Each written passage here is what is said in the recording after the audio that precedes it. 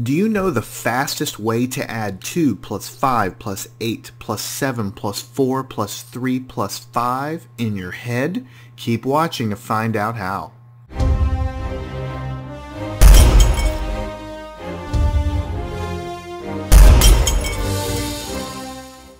Hi, I'm Jason with MathTutorDVD.com and today we're going to begin our quest in getting really good at mental arithmetic and we're going to learn to crawl before we walk and we're going to do that by really working and practicing with single column addition. Now in order to do this and speed it up so that you can get good at it in your mind, there's two things that you need to remember. The number one thing is you're going to add the numbers as usual so we're not going to use any fancy tricks to actually add 7 plus 4 together.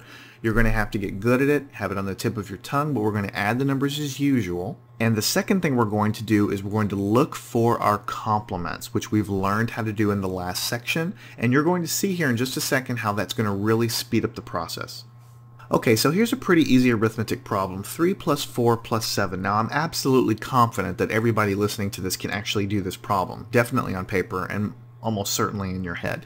But the way most people are going to tackle this is they're going to start at the top and then they're going to, they're going to look at 3 plus 4 is 7. And then 7 plus 7, you might have to think about that a little bit longer, but then you'll come to the answer of 14, and that is the actual correct answer. Now this is pretty easy because there's three numbers in the problem, and so most people can do addition of three of three numbers in their head without an issue. But you know, depending on the numbers that you have here, you might have to think a little bit harder. But most people are going to start at the top and work their way to the bottom. I want you to not do that from now on. Whenever you look at a list of numbers or hear a list of numbers, I want you to, to look for complements. And so what we're going to do is look at this again from a different point of view. Notice we have 3 and 7 in this problem. So immediately, because we, we know that 3 and 7 are complements from our previous lesson and we've drilled that into our head, we know that this makes 10. 3 and 7 make 10. So putting a little mark here to remind ourselves, those two add to 10. So that's, that's already 10, and so you know that 10 plus 4 is 14, and that's the answer. Most people would agree that doing this is faster than doing 3 plus 4 is 7, 7 plus 4 is 14, because especially when you get to a long list of numbers, if you can find pairs of numbers or even triplets of numbers that sum to 10 and mentally check them off in your little head, then you're going to eliminate most of the list of numbers doing something very easy and simple. But the key to it is knowing those complements, basically having them almost memorized. So let's look at another example. Uh, 2 plus 9 plus 8. Again, most people would do 2 plus 9 is 11, 11 plus 8 is 19, and that is the answer. That's true. But let me give you a moment to look at this and identify the complement. Well, you can see that 2 is a complement with 8, so that immediately sums to 10. 10 plus 9 is 19.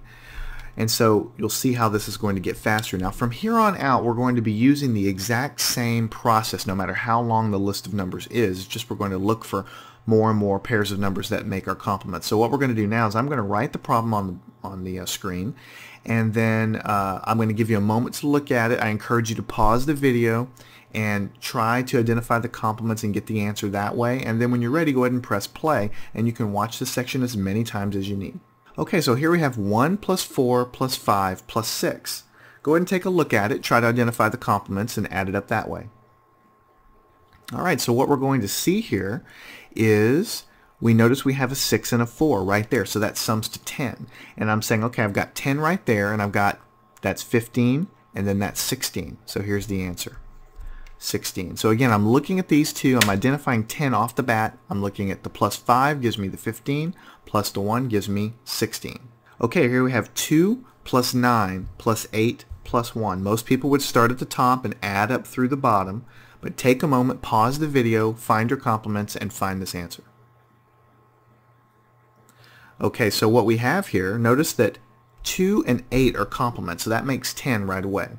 Also notice that 9 and 1 are also complements. So that makes 10. So the answer is 20. Now that's much faster than doing, okay, 2 plus 9 gives me 11, 11 plus 8 gives me 19, 19 plus 1 gives me 20. What we're looking is we're scanning the pattern, almost like you read a word in a book. You don't sound every letter out anymore. When you were a kid, you had to do that. But when you do math, you need to start to look at these lists of numbers and don't sound them out, so to speak, by adding them up top to bottom. Look for those complements because it's going to cut your computation time, you know, way, way down.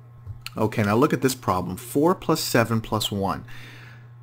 Now we don't have a pure complement here that we can really pick on to, to save ourselves some time, but we do notice that we have a 7 and a 4. And one thing that I do when I see something I don't quite have a complement here, I know that 7 and 3 is a complement. That's going to give me 10. So I don't have a 3 here. I have a 4, so I'm going to have 1 left over. So I've got the 10 plus the 1 up here plus the 1 down here is going to give me 12.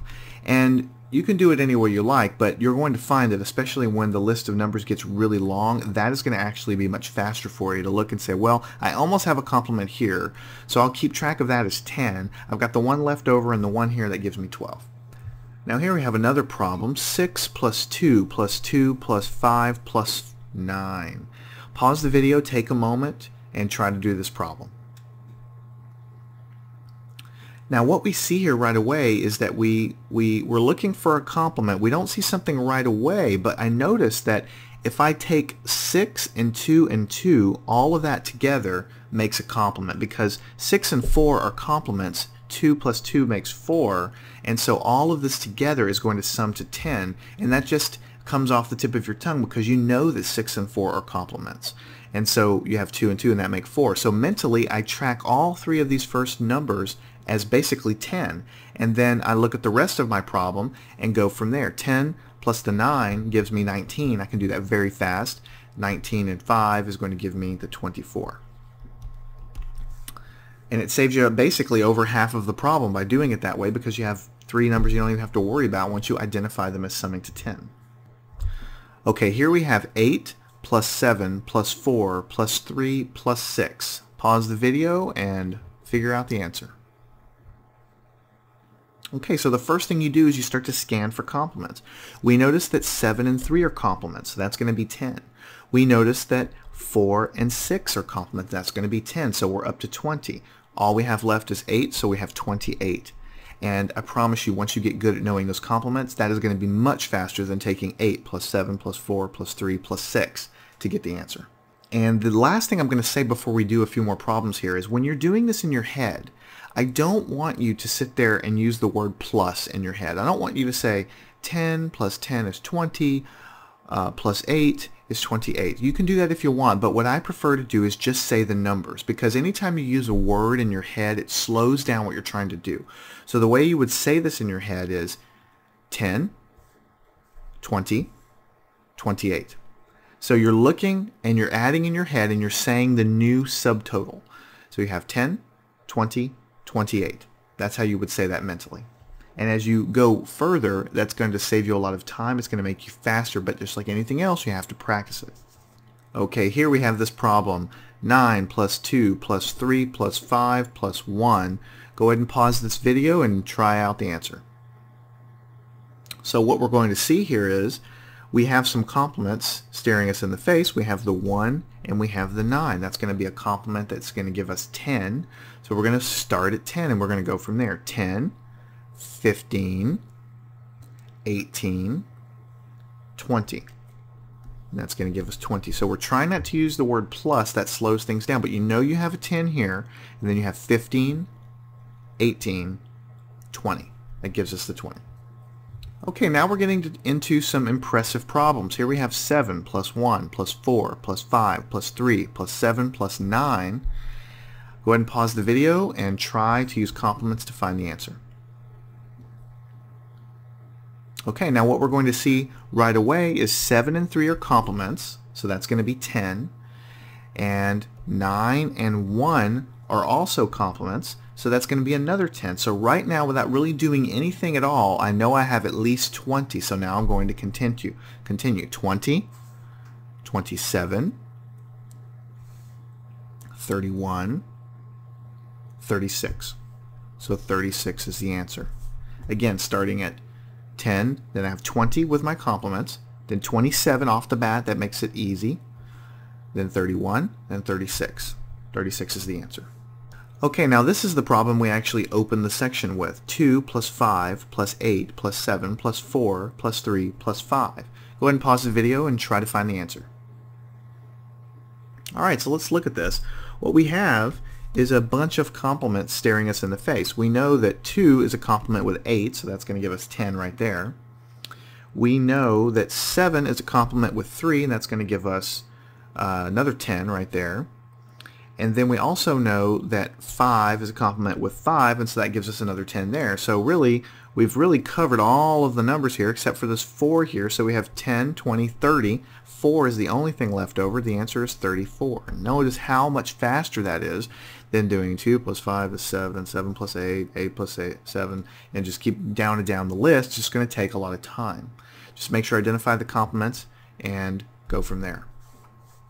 Here we have our final problem. 1 plus 7 plus 3 plus 1 plus 9 plus 4 plus 2 plus 6. Go ahead and pause the video and try to find the answer.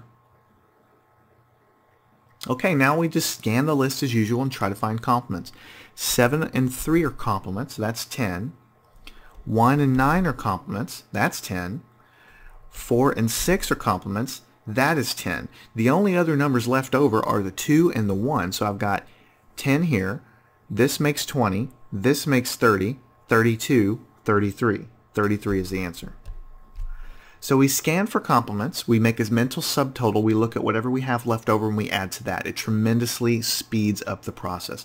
I'm Jason with MathTutorDVD.com. I hope you've learned something from this. Please take some time to get a pencil and paper, write down a bunch of random problems off the top of your head and just practice it. And just like reading or just like playing an instrument or just like riding a bike, it's going to get more natural and more comfortable to you. And I guarantee you, once you can get comfortable adding these columns of numbers up, then adding a, a multi-digit number like, you know, 347 plus 159 is not going to be that difficult, but we need to crawl before we walk. So we work with these one-digit numbers, these single column numbers, and then we add two-digit numbers and three-digit numbers and getting better and better and better, all the while increasing your skills in mental math.